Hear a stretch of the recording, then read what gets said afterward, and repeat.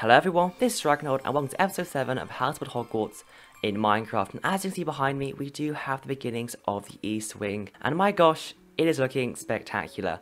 And of course, the mighty Ravenclaw Tower, which we will be completing this episode. However, before we start the episode, I'd like to give a small, quick update on my main Hogwarts map. And so, as you can see from the pictures on the screen, I have been working on the Great Hall and the Viaduct area, and it just looks so much better and more accurate and I am just so happy with how it has turned out. And of course, if you do want updates on my main Hogwarts map, I will be posting the occasional video and including it in these episodes. However, if you do want core updates of the main Hogwarts map, there will be progress and announcements and sneak peeks in my Discord server, which is linked in the description. However, without further ado, I think it's time we get straight in. And so for the roof, obviously we are going to need our usual roof blocks. So of course, dark oak planks and some dark oak fences and of course a stone brick wall and perhaps an anvil if you do want it. And so to start off the roof, we're going to build a 6 by 5 rectangle in this area, starting here. So 1, 2, 3, 4, 5, and this needs to be 6 blocks up. So there's one there, 2, 3, 4, 5, 6. And of course, just fill this in along here to create this 6 by 5 rectangle just like so and that should look like that. And then on top of it you're going to build a 2 by 3 small rectangle just on there just to kind of finish off this kind of look. And then in this area behind you're going to build a 3 by 5 area. So one, two, three, four, five, and then two more blocks up so create this 3 by 3 rectangle. And of course on top we're going to build a 3 by 3 square and that should look just like so and then behind this, we will build a 4 by 5 square. So 1, 2, 3, 4, 5, and then 5 blocks up. So 1, 2, 3, 4, 5, just like this. And this will go up in a 4 by 5 square. And then, just as usual on top, we will build a 2 by 3 rectangle, just like so. And then behind here, we'll have a 3 by 5 rectangle. So 1, 2, 3 like that, and then just behind here 5, and just fill in a rectangle just like that. The top layer should be peeking above here. And then on top, a 3 by 3 square, and then to cap off this square, a 1 block on the top. And then on top of that, we will build a 4 by 3 uh, rectangle. So 3 there, 1, 2, 3, 4, just like so and then three blocks on top just to round that off. And then what you can do is place some fences all along here and then place one, two, three fences on top just like that. And then coming in one more block, you'll come up one, two, three, four, five blocks and then place your stone brick wall and then dark oak fence and then an anvil if you want it and then another dark oak fence just on top. And that will basically be one of the sides. And so this should be in the center of your tower. So it should be in line with this point, this point, this point, and of course down there as well. And so then what you need to do is just repeat this onto all four sides. And so I'm going to walk through it once more, and it's up to you to complete the other two sides. And so again, we're going to start off with a 5 by 6 rectangle. So 1, 2, 3, 4, 5, and then build up another 5 more blocks on this block to create a 5 by 6 rectangle. So 1, two, three, four, five, and then just fill in these gaps along here, just like so. And then on top of that, you will be building a 2 by 3 rectangle. And then behind, you are going to build on a 3 by 5 rectangle, just like this. So this is going to be 5 blocks along here and then 3 blocks down. And of course, the top block should be 1 block above this kind of 2 by 3 rectangle right here. And then on top of here, we're going to build a 3 by 3 square, and that should look just like so. And then behind here, we are going to build a 5 by 4 rectangle. So this is one to start the bottom layer around here. So this is, should be 5 blocks. And then top of here, you're going to put up 4 more blocks. So one, two, three, four, and then build this up in here. Just to fill this in, just like so. And I may have said a 4 by 5 um, for this one. However, this should be a 5 by 5 along here. I apologize if I did say that wrong the first time. However, these should just be identical. So whatever you did for this one, just build this the same as this side over here. And then on top of this 5 by 5 spruce kind of square, we're going to build a 2 by 3 rectangle just like so. And then behind here, we have a 3 by 5 rectangle. However, you will notice we've already built one part of it since they are now getting close together, that each side is now touching. So we just need to fill in this along here, just to fill in this rectangle, just like that. And then on top of here, there will be a 3 by 3 square, of course, a one block on top. And then we can go ahead and just basically just repeat everything along here and that should go all the way to the top just like so. Of course there are the gaps down here and we will address those once we have now completed this entire area and so now it is up to you to complete the other two sides. And that should look just like that with all four of these sides basically looking exactly the same. And then we can go ahead and continue down into these depths down here. And so if we look there is kind of an L shape in between these two sides. And so what we are going to do is build up this L shape until it is one block below these gaps here. And then we can go ahead and just fill in the gap here and then in this area we can just go ahead and build this until it is the same height as these blocks here. And then what you can do since this looks rather flat you can go ahead and grab yourself a dark oak slab and just place that there. Ideally I would use some walls in here just like this since they kind of do add more to the shape. Fences just don't look particularly good and of course there are no walls for wood. I wish there were but there's just not that in the game so far. And so that will just have to look like that and so again, we will come down into this area and we'll see that it's this kind of L shape in between and we will build this up until it's one block below this ledge here. And of course, go in here and just fill in this gap here and then build this up until it is the same height and then you can place a dark oak slab and then we'll repeat that for these other two sides so of course the L shape this will come up to one block below here and then fill in these gaps just like so. And then this will come up until it reaches this area here and then I place a dark oak slab. And of course I am going quicker as I go since well we've already built this three times now by now so it should be hard ingrained in your brain by now. And if it's not well we've already built it three times so you can just go back and look at what you've already built. And that will look just like that. And that is the main roof of the central tower now finished and I think it looks really really good. On accuracy terms it is not perfect so as we can see if you compare this to a picture we can see that the two turrets on each side, they are slightly too big, which means these kind of top two triangle roofs, they are too big as well. However, that's kind of a sacrifice I chose to make since we can properly fit a spiral staircase in here, is what I did for the main interior on my main map. And this will be how we'll be doing Huff um, Ravenclaw Common Room.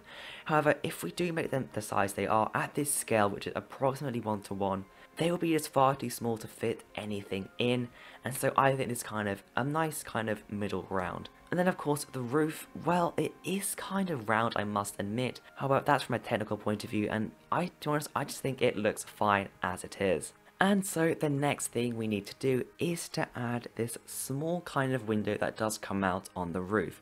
So we'll go ahead and grab ourselves some cut sandstone and again we'll grab ourselves some dark oak stairs and some dark oak planks and a dark oak slab.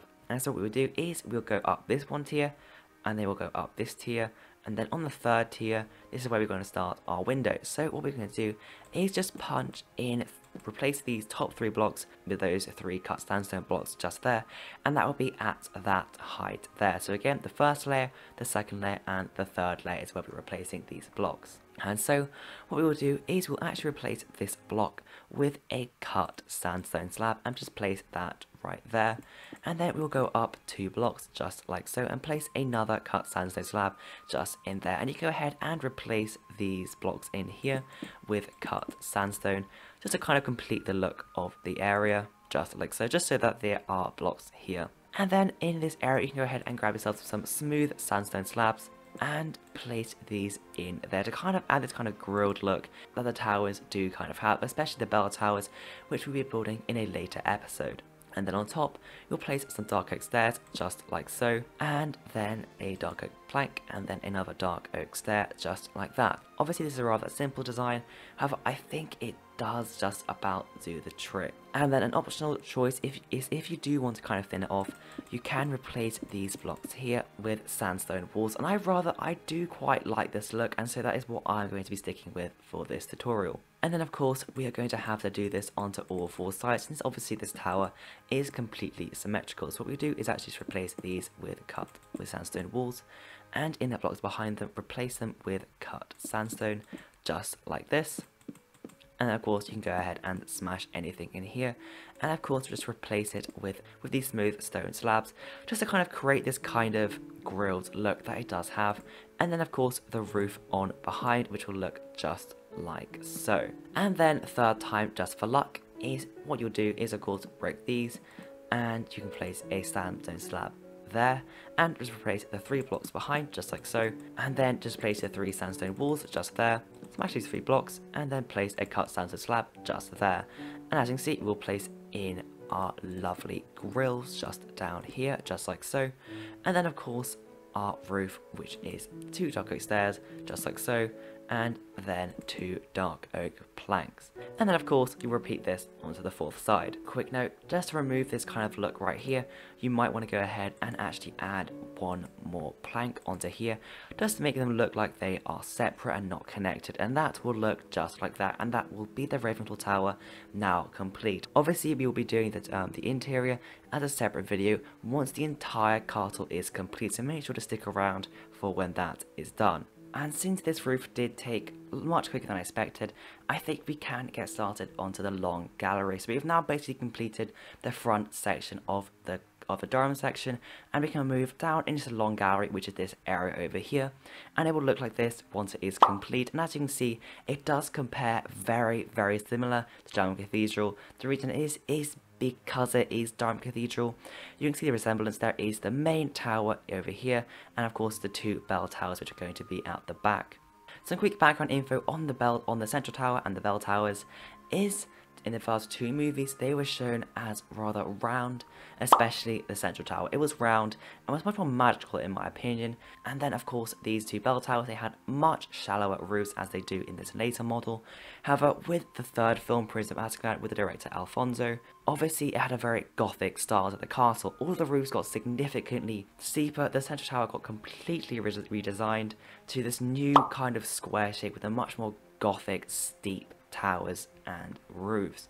And of course the two bell towers did have a blank makeover at the back and as you can see they did change from those flat roofs to much much steeper. And in my opinion I do prefer the new bell towers However, I think we did lose a bit of that magical sense of the central tower. However, I'm still very happy with how it does look. And um, what do you guys think of this extra knowledge of Hogwarts? I think it's quite interesting. It's just what I've learned while I've been building it. And so if you do want more, just let that down in the comments. And of course, there is my Discord server, which is full of people building Hogwarts, and it's a really fun place.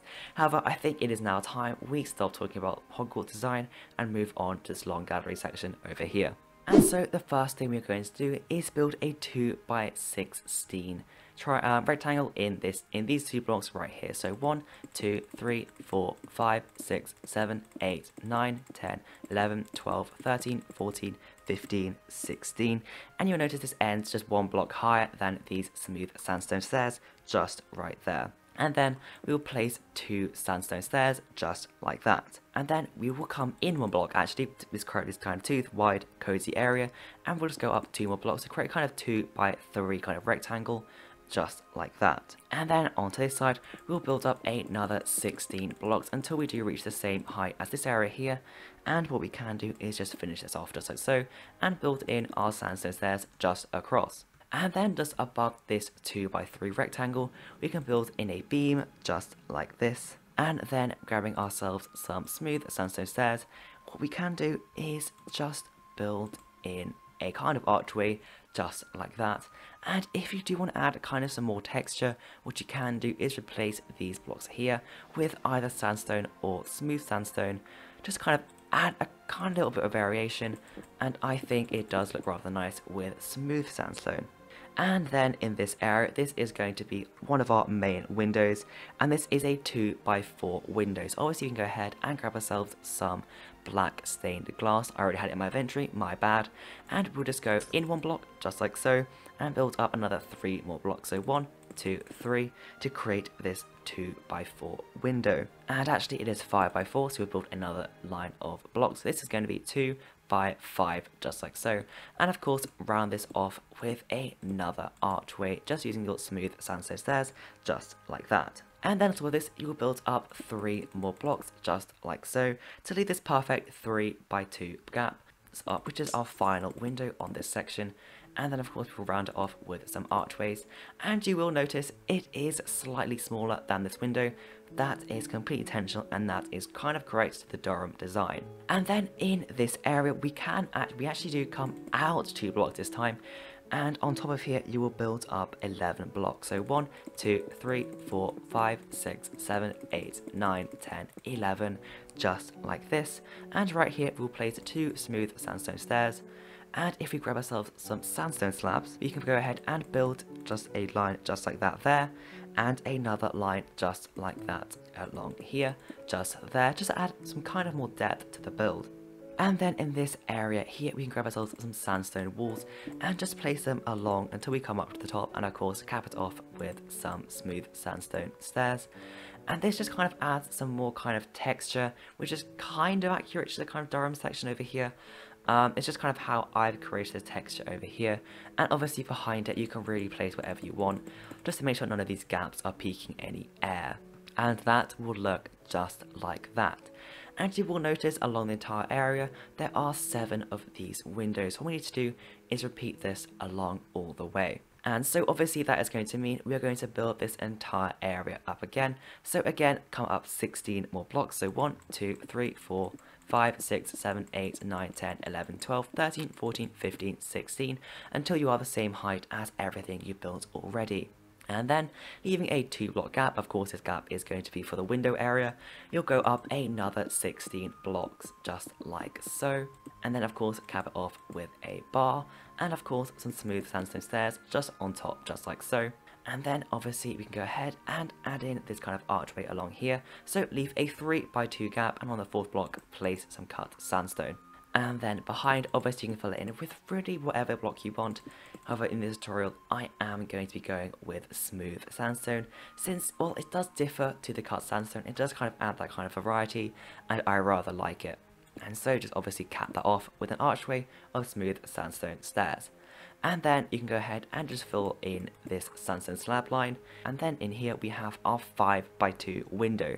So you'll go in one block and then go two, three, four, five. This window should obviously be identical to this area. And then of course cap it off with some cut sandstone and go up two more blocks. So this area should be a 2 by 3 rectangle. And then of course you can go ahead and cap this one off with some smooth sandstone stairs as usual. And then the final window should leave a 2 by 3 gap just in here. So you can go ahead and fill this in with some black stained glass and smash in some smooth sandstone stairs just like that to add the archway. And then of course you can go ahead and add in this line of, of, sandstone slabs. And then of course we do have this kind of bit where it does stick out and obviously this does go up 11 more blocks on top of here. So this is one and then 11 blocks on top. So 1, 2, 3, 4, 5, 6, 7, 8, 9, 10, 11. And of course, top this off with some smooth sandstone stairs. And then behind, we'll obviously have our sandstone walls in line with the wall, just like so. And of course, it should show some air, so we can go ahead and smash in some smooth sandstone just behind just to fill in all of these gaps. And of course, finish off with some smooth sandstone stairs. And that will look just like that. And so what we are going to need to do is repeat this five more times until we come in length with this bell tower. And so there should be seven windows in total and it should be completely symmetrical. So on the seventh window, there will not be one of these. It will be similar to this and it will just go straight into the bell towers. And so what we can do is we can go ahead and lay this out and then obviously you can go ahead and repeat this all along. However, I am just going to lay it out so you guys do not get confused. And so obviously right here we have our archway just along here, just that will go right there. And then it will go out two blocks just like so. So you go ahead and build that up. Obviously this is identical to this. And then of course another one of these archways. So four blocks and then two gap and then four blocks. And of course cap it off. And then come out two blocks and just build along just like that. Of course, identical to the ones we've already built. And then another archway in here, just like that with a 2x3 rectangle in here. And of course, another one of these 2x1 areas that do come out. And then our sixth archway, which is along here, just like that. Again, the same as everything else we've already built. And then another one of these sticky outy bits. And then our seventh and final archway, which ends perfectly right here where we start the bell towers in a later episode. So to repeat what you've done along this kind of frame we just did, and that will be this area of the long gallery now done. This lines us up very perfectly for episode 7, where we will continue the long gallery, which we will build this roof, and of course this kind of section along here, which is another corridor, very similar to these areas already coming out on all three of the sides of Central Tower, and so obviously we will need another one of these areas coming out just along here. And then after that, I plan to start the bell towers, and that will start to look very, very cool. And so I would like to thank you guys very much for watching episode 7 of How to Build Hogwarts in Minecraft. If you did enjoy the video and you are enjoying building Hogwarts and if you're not already subscribed, I recommend subscribing, it really does help out the channel and you guys will never miss another upload. And of course, if you did get stuck anywhere in the video, please make sure to join my Discord server for support and I will try my best to help you guys out. And of course just join for a general amazing Harry Potter community and I think we did just hit 1,600 subscribers, which is absolutely insane. We've just reached 600 subscribers in the past month, which is amazing. Thank you guys so, so much. I really appreciate it. And so, without further ado, thank you guys very much for watching, and I will see you guys in the next episode.